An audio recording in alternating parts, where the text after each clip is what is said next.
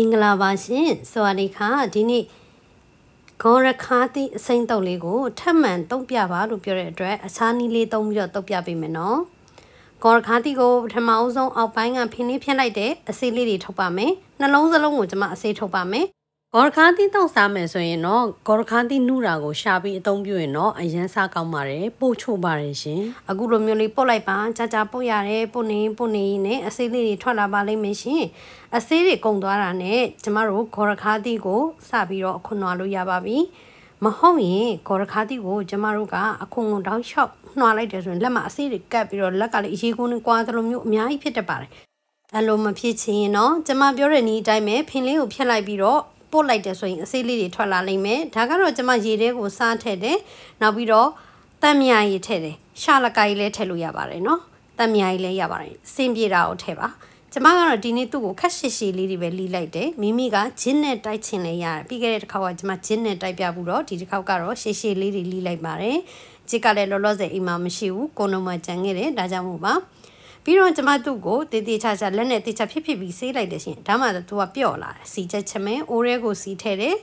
စနစ်မို့အနေငယ်ထဲတယ်ကျက်သွန်အဖြူအနီးလိဖြတ်ထားတာကိုများများထည့်လိုက်တယ်ပြီးရင်တော့နီညိုရောင်တန်းသည့်အထိစီတတ်ပါတယ်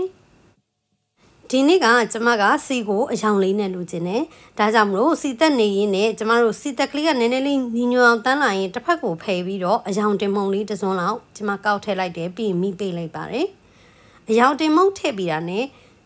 မီးကျွန်းတက်တာမို့လို့တတိထားပါဒါကတော့ကျွန်မရေစိန်နားတဲ့ကော်ရခါတီကိုကျွန်မနှစ်ခါသုံးခါသေးချာတိုက်ချွတ်ပြီးတော့ဆေးလိုက်ပါတယ်ဆေးပြီးသွားတာနဲ့ကျွန်မပါစက်ထည့်ထည့်ပြီးစားကြည့်တဲ့အခါမှာအရန်ချိုတဲ့ကော်ရခါတီပါရှင်ဒီတိုင်းအစိမ့်အောင်စားလို့ရတဲ့အနေထားပါဒါပေမဲ့လုံးဝအစိမ့်မရှိတော့ပါဘူးရှင်ဒါကတော့မြေပဲပါမြေပဲကိုတော့မိမိကြိုက်နှစ်တက်တဲ့အမောင့်ကိုထည့်ပြီးထောင်းနိုင်ပါတယ်များများကြိုက်များများပေါ့ဒါကစေးကြောရတဲ့ကျမရဲ့ကော်ရခါတီလေးတွေပါ ကျမကပူထပတ်သွားတာပြန်လာတော့ကော်ရခါသီးတွေပါလာတယ်တငယ်ချင်းတွေကိုလည်းပေးတယ်အိမ်ပေးနီနာချင်းကိုလည်းကျမပေးလိုက်တယ်ကျမကိုမေးနိုင်ပါတယ်ဂေါ်ရခါတီကမမတောင်းတောင်းကြီးဖြစ်မနေဘူးလားမဖြစ်ပါဘူးရှင်ကျမတေးချလက်နဲ့ဖြစ်ဖြစ်ဖြစ်ဖြစ်ပြီးဆေးလိုက်တဲ့အတွက်ကြောင့်မို့ခက်ပြပြော့အနေထားလေးနဲ့ထုတ်ထုတ်ထုတ်ထုတ်အနေထားလေးဖြစ်ပါတယ်ဒါလေးကတော့ကျမရဲ့ကျက်သွန်နီပါကျက်သွန်နီကိုပပလီပြီးစားရည်စိန်လာတော့ကျက်သွန်နီဖြစ်ပါတယ်ဘာလို့စားရည်စိန်ရပါသလဲမှုကြောက်လို့ပါရှင်စားထည့်ပါတယ် အချုံမုံသို့မဟုတ်အရတာမုံကိုမိမိရဲ့ကော်ရခါသည့်အလုံးပေါ်မှာမူတည်ပြီးတော့ချိန်ဆပြီးထည့်နိုင်ပါတယ်ကျွန်မကတော့ထမင်းစားစုံနဲ့တဝက်ခန့်ကျွန်မထည့်ပါတယ်ဒါကတော့မပါမဖြစ်ပစွန်ချောင်းမုံဖြစ်ပါတယ်ပစွန်ချောင်းမုံကိုတော့ကျွန်မကထမင်းစားစုံနဲ့နှစွန်စားထည့်ပါတယ်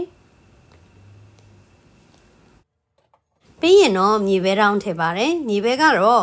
ကိုစိတ်ချိုက်အနေထားရသည့်ထိထောင်းနိုင်ပါတယ်မြေပဲတောင်းကိုကျွန်မကများများထည့်လိုက်တယ် ပြီးသွားရင်စီတက်ထားတဲ့ကျက်သွန်မြူကျက်သွန်နီစီချက်ပြီးတော့အထက်မှာအယောင်တင်မုံလေးပါတာမို့လို့အဲ့ဒါကိုကျွန်မဒီမှာထည့်လိုက်ပါတယ်။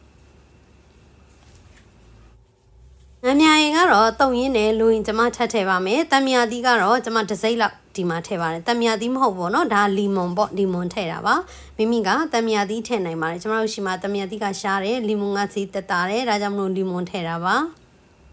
သားကန်ဒီဆိုရင်တော့အာရပါရလီမွန်ကိုညှင့်ထည့်လိုက်ပါမိမိကငရုတ်တီးအချက်မှုတ်ကြိုက်တယ်ဆိုရင်လည်းထပ်ထည့်ပြီးတော့တုံဆောင်နိုင်ပါတယ်ကျမကဒီနေ့ငရုတ်သီးစိမ့်မှာညှက်ထည့်မှမို့လို့အချက်မှုတ်ကိုတော့ထပ်မထည့်တော့ဘူးအခြားတယောက်ကသူကအဆက်မစားဘူးဆိုတော့ကျမကအစိမ့်ညှက်ထည့်မယ်ဒါမှသာသူကမစားကြုံဆိုရင်ဖယ်နိုင်တယ်ကျမကတော့အစိမ့်ကိုဒီတိုင်းကြိုက်ပြီးတော့စားမှဖြစ်ပါတယ်ရှင်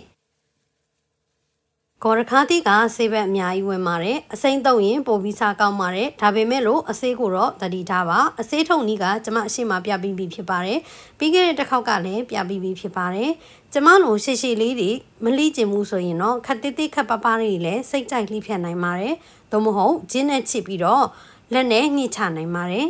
ငမြရီလို့လို့ကျမကတော့ငမြရီအနှဲငယ်ထပ်ပြီးတော့ထည့်လိုက်ပါတယ်အကြတာကတော့စိတ်ကြိုက်ညှိပြီးတော့တုံနိုင်ပါတယ်ရှင် တုပ်ပြီးသွားတဲ့ဂေါ်ရခါသည့်စိမ့်တုပ်တီးတဲ့ကိုနှမ်းပြူနှမ်းမဲလှော်ရတာလေးတွေထည့်လိုက်တယ်နှမ်းပြူပဲရနှမ်းမဲပဲရတယ်နော်ပြီးတော့ငရုတ်သီးမဲ့လေးတွေညှက်ထည့်လိုက်ပါတယ်ရှင်ပြီးတော့ထမင်းနဲ့အားရပါရတွဲဖက်ပြီးတော့သုံးဆောင်နိုင်ပါတယ် Thank you ပါ